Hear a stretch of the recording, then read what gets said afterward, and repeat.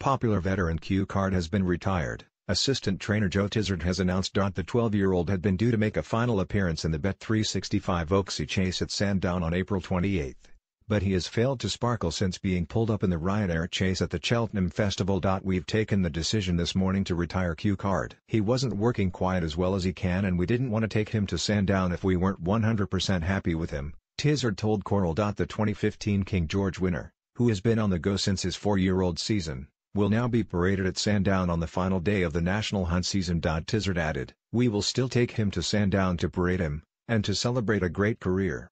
He has been an incredible horse for us and now he can look forward to a new chapter in his life. Cue Card first hit the headlines when winning the champion bumper at the festival in 2010 before lifting a Grade 2 novice hurdle and being placed at both Cheltenham and Aintree the following season. However, he really came into his own as a chaser, winning twice as a novice before landing the Haldon Gold Cup. Ascot Chase and Ryanair Chase in his first full season over fences. Stepped up in trip for the 2013-14 campaign, he won the Betfair Chase at Haydock for the first time, a race he would claim on a further two occasions in his career. He was at his best in the 2015-16 season, though, when he won the Charlie Hall at Wetherby and the Betfair Chase before adding the King George at Kempton after a thrilling battle with Vautour. Heading to the 2016 Gold Cup, he was the 5-2 joint favourite and on the verge of a £1 million Triple Crown bonus but he fell three fences from home when still travelling well. Cue Card's last win came in the Ascot Chase in February 2017 and he bows out having won 16 of his 41 races,